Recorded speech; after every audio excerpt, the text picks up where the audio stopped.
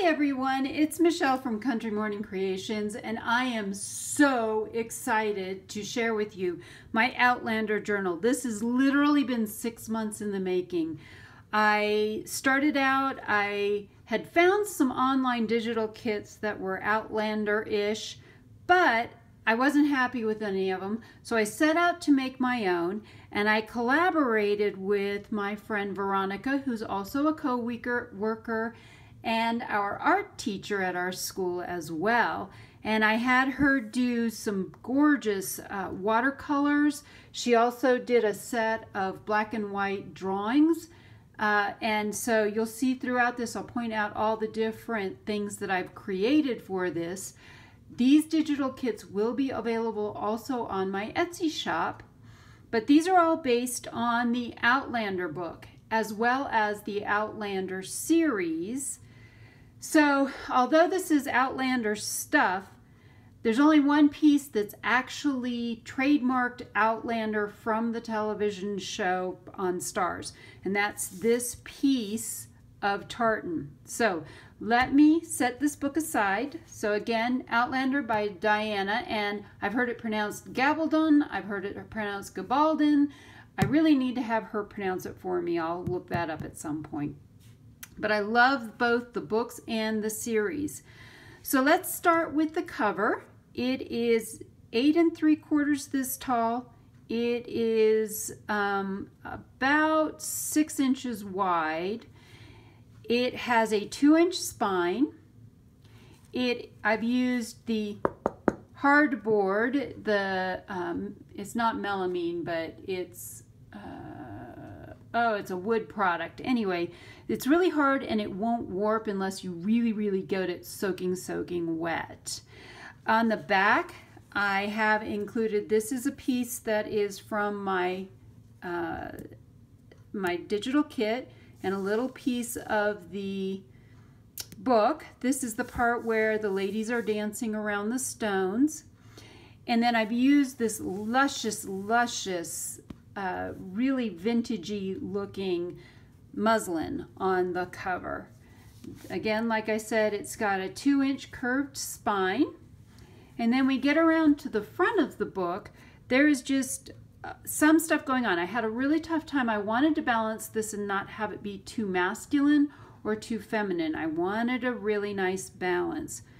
So I started out and you'll see it's really gaitered. So I made a belt for it this looks like, to me, it's to resemble the belt that Claire loses when she goes through the stones when she, um, in the TV show.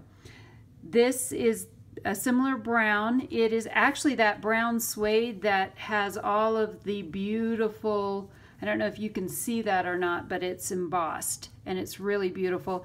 This is a Tim Holtz belt buckle and I've made a couple of places so if it gets more full, you've got room to expand. This is actually from a, a, a shop called the Celtic Croft. This is the polyester version. I did not get the wool kind. I really felt that would be too thick for this book. I wanted more of the polyester, but this is the trademarked tartan from the TV show. This is a copy, so I printed this out. The original piece that my friend Veronica did is huge. Would not fit on a journal or even in as a page. So this is part of that printable kit, one of the digital kits that I've put some lace around it. And then of course, because this is all time travel related, I have put some time clock pieces. There's a little bit of seam binding and some lace, and then the word Sassenach, which comes from, again, my, uh, my digital kits that I have. And a lot of this, I'm going to just turn my light a little bit better so that hopefully this shows up better. Anyway, so this also came from that digital kit that I made. Let's get into the inside, which I have cram-packed. It has 180 pages. This belt actually comes completely off. So you can just take that off all together. On the inside, I have, this is called the Highlands Bride, and it is, it has a thistle and a dragonfly, which is a repeating theme in the Outlander series. I've sewn some muslin to this page. Now these are the heavier weight coffee dyed pieces of paper.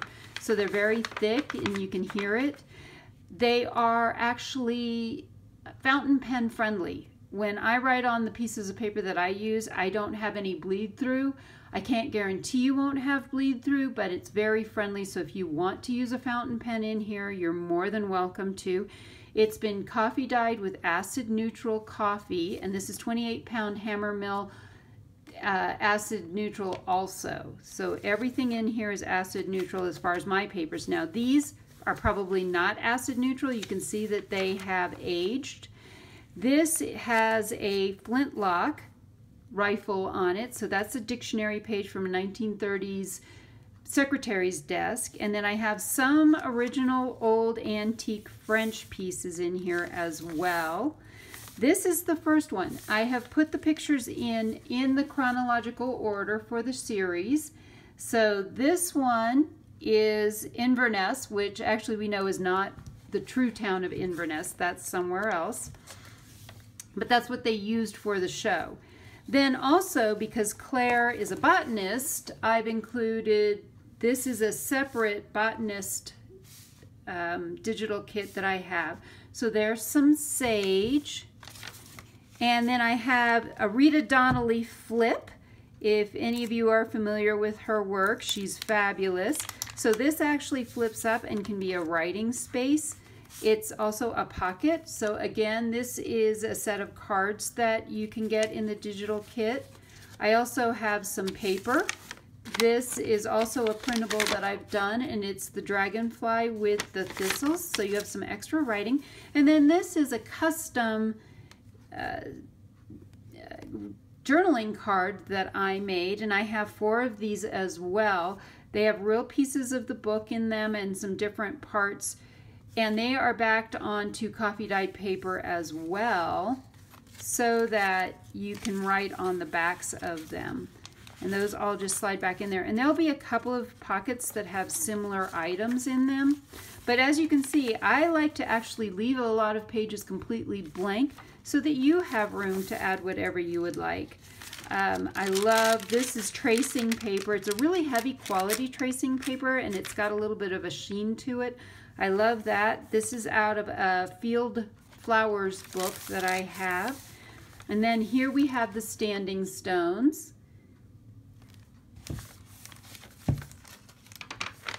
And this one is an interesting tuck spot too. I don't know who originated this. Oops, I seem to have glued it shut. Let me see if I can unglue that. There we go. So this flips open and there's even more writing space here and it's just held shut by this little dragonfly. Again, um, I just took a little piece. I had some leftover pieces of coffee dyed paper from cutting things out. So I just glued a little thistle. That's a little tiny thistle. These are one inch, so I just used my one inch hole punch. And then there's another one that's Slàinte. So some of these are the Celtic or Scottish words that come from the show.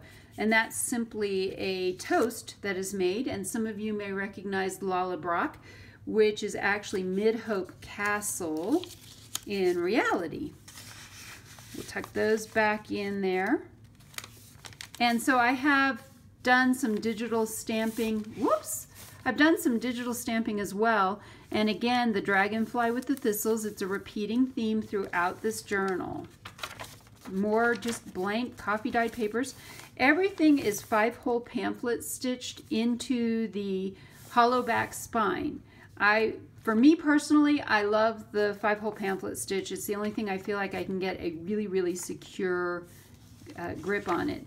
Then I have throughout here, these are just paper clips that have some torn muslin tied to them. I have a couple, um, actually I have three of these. This is one of the printables from the digital kit. And I love how you see all the muslin and then the, the jute twine as well, just poking out of the top. This is a piece of genuine French ephemera as well as an old, let's see, what is this? 1921 ledger. I felt real ledger was really important to use in this. because frequently they're talking about Jamie going over the ledgers. So if you know anything about the show, Jamie is always going over the ledgers. Then this is Claire in the gardens, and I can't remember the name of the first place she goes to. So she's come through the stones, and Jamie has taken her. This is where um, Dougal and the Laird all live. Drawing a total blank on it right now. I've also included some just lined paper. Again, this one has a thistle, and then, I don't know if you can see that, there's a little tiny bee also. You'll see bees, butterflies, and dragonflies throughout this, which is a lot of what I have. Here is another herb, that's garlic. She, and I looked these up. These are all actually used for medicinal purposes. I have a little tuck spot here. Again, another copy of Lallybroch. This one says Dinna fash, which means don't worry. And then another copy of The Highlander's Bride, but you can write on the back of it again. Tons and tons of writing space. I know a lot of people say they have a lot of writing space, but um, I actually do. So you have the backside of that ledger and some more. And I have left all the threads long, and I mean really long. I just love, love, love having really long threads. So this is a little bit more of that tartan that I've sewn in here. And, oh, this is actually the chapter on the water horse where she meets the Loch Ness Monster. I thought that was really cool that that was actually in the book. It's not included at all in the TV show, but it is in the book and some more French ephemera. This is Claire's surgery. And I love how Veronica got the light coming in through the window. Amazing, amazing, amazing. This is another tag that I have, and this is again with the Standing Stones. More of that digital printing. Here is another Rita Donnelly flip that this time I did not glue shut. In here, again, I have some more pieces. This is another nickname that Jamie has for Claire. I'm not even going to pronounce it, uh, but it means my brown-haired lass or my brown-haired daughter. More of that paper that has the dragonfly and the thistles on it. This one I thought was really cool. This one's got the stag head on it. And fennel. So there's some fennel. And this is the other half of that chapter pretty much. And then more of that uh, linen that I tore up. This is another piece of pages that this one has the little dragonfly in it. And it's all lined paper. I know that some people prefer lined paper, so I thought I would include some in this journal. This is Fort William, where both Claire and Jamie end up repeatedly under the thumb of Black Jack Randall. Bad guy, boo. I have a pocket. This is actually the very center of the journal. And in this pocket is actually two pieces. This one has, this is a large-ish tag that has Again, Craig Doone, the Standing Stones, and then there's Claire again at the castle. Coriander, which is, again, a really good herb. A lot of these herbs are really good if you have stomach problems. Now, I'm not saying you should use them if you have stomach problems. I'm just saying they're really good for that. Uh, Edith Holden book page. And then uh, more of that French ephemera. I get all of my French ephemera from Monahan's Papers, pretty much. And I couldn't resist. I had to have more of the tracing paper. This one's Germander. Germander. Um, again, a good herb. Another large tag held on with the paper clips that have the torn uh, now I just called it whatever it's supposed to be and I've completely lost it. I'm so excited about this book. I, am losing my mind actually. I think so. More of that digital stamping. This is the wedding chapel from the TV show. And then another Rita Donnelly flip. It's called a Rita Donnelly flip because she was kind of the first person to do these flips. And there's a little dragonfly there. Inside this pocket, this one says Je suis prêt. This is the first one that's French and the only one that is a French saying that I included. And this is supposedly the saying or motto for the Fraser clan. Another piece of paper, that one has the little bee, and another one of my custom done journaling cards. And these have been backed with coffee dye paper. And again, that coffee dye paper is acid neutral. I know a lot of people say it doesn't matter unless you're keeping your journal for hundreds of years. Um, I just believe in taking that extra special step to make sure my journals are the best they can be in the highest quality. Again, a little bit more of that tartan. So this is again the official tartan from the Outlander TV series. Some more French ephemera, some more of that um, ledger paper out of that same book that was from the 1920s. This is blank. I have some that has paper, some that have writing in them and some that don't.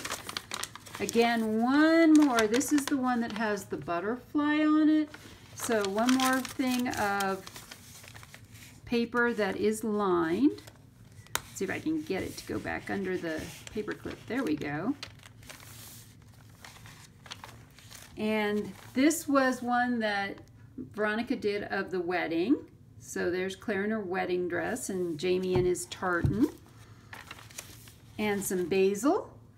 Yum. Now I'm thinking Italian food and I'm getting myself hungry. Another tuck spot. This is the one with the uh, deer head and some more paper and another one of those custom um, journal cards. And then we get into here. Here's some more that is from the uh, from the book, this is the part where Jamie, after the witch trial, Jamie takes Claire back to the stones. So this is this part. And some more Edith Holden. And finally we go, after that we go to Lallybroch. She finally says, take me home to Lallybroch. This is another one of those tuck spots that also, eek, is a flip. So you can write your secret thoughts in here and keep them safe. Another one of these journaling cards. This is a thistle with a bee on it. More of that music and another one of those custom journal cards that I did using all the little pieces. And what's nice is you can see this fairly lays flat. Now, of course, I've got, this is a thick journal, but you pretty much are going to find that it lays fairly flat. Another one of those tags. This one just has the thistle on it and the rest of that art that uh, chapter. This has the, let's see if it's on this side. It is.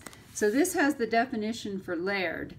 Um, a lord, the master of a landed estate. In other words, an estate with land in it.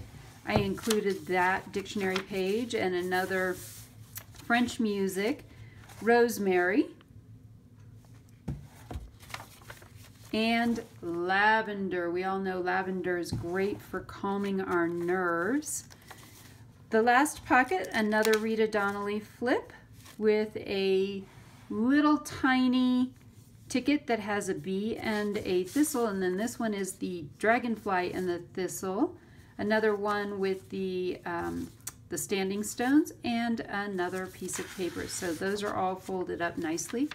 We come to the end here with the rest of it, and then we have the back of the book here. So let me show you what I mean by a hollow back spinding. A lot of times you'll have a book and it will, uh, it's sewn either, it's glued to the spine or it's, or it's sewn through the spine. When I do a hollow back binding, you can see actually it goes down in there and it's it releases so that when you open the book now everything is lying flat. You don't have pages that are trying to go down into the curve of the spine. So I hope that you have enjoyed this flip through. If you are interested in this journal it will be listed in my Etsy shop. Unless you see sold in the comments then you'll know that some lucky person has already gotten it um, I must say I'm already hesitant to sell it because Um, I have put so much time and energy into this, and I just love, love, love this journal. I love all the parts of it and everything. So again, the, the, the belt comes off. You can move it however you would like to. I hope you've enjoyed this flip through, and I hope I've inspired you to be creative.